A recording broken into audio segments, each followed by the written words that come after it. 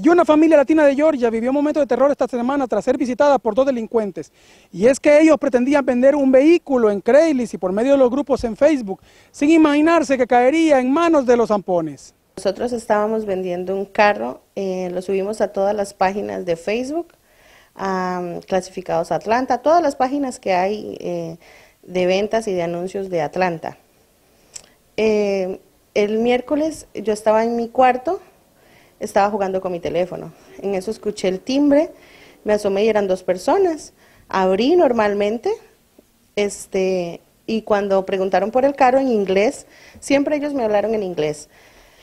Preguntaron por el carro, yo les dije que el carro no estaba acá, entonces sacaron una pistola, eh, me apuntaron, me empujaron hacia la pared, eh, uno entró, eh, el otro que tenía la, la pistola me sentó en el sillón, y me, tenía en todo momento este, apuntando la cabeza.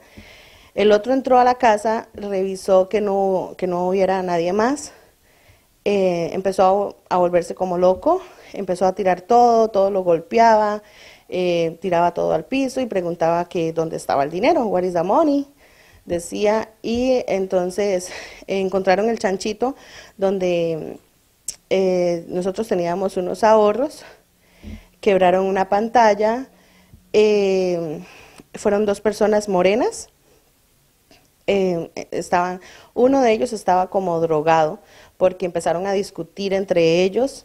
The, the description of the males was two black males. Um, they both had on long pants. Uh, one had a gray shirt on. One had multiple tattoos on his arms, and they were both wearing gloves. It was a very limited description of the way they had covered themselves up. El error de nosotros fue haber publicado la dirección de, de, la venta del vehículo, porque mucha gente tiene acceso a, las redes sociales y a todas esas páginas y eso fue el, el, yo pienso que eso fue el motivo por el cual llegaron. No sabían sinceramente si tenían dinero o no, venían a ver qué era lo que, lo que había. Yo, yo pienso que fue más que todo eso.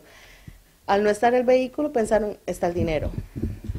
Por último, ¿Qué espera usted de parte de las autoridades en torno a esta situación que le acaba de pasar tan seria a ustedes? No, yo espero que los agarren, porque eso me pasó a mí, mañana le puede pasar a otra persona y, y, así consecutivamente. Ellos, ellos no sé la manera en la que operan, pero eh, para, para una persona es muy frustrante saber de que en ese momento pues yo estaba sola, gracias a Dios, pero si hubiera estado mi hija, hubiera pasado lo mismo. Si hubiera estado mi esposo, lo hubieran, lo hubieran disparado porque era por ser un hombre. No sé, yo espero que los agarren y que esto no se vuelva a dar, porque muchas veces los, los, los latinos, los hispanos tenemos miedo de denunciar. The dangers with that comes from listing your address. Things like that were created with good intentions of being able to sell your items and connect with people. And to make that, it's unfortunate that some people have taken that and made an evil thing out of it uh, to use it to build a target people. So we encourage people that if they are selling items like that to meet somewhere in a common area, a well-lit place, and maybe even come to a police department or the police station uh, here at headquarters and to meet that way and not list your home address just for these instances.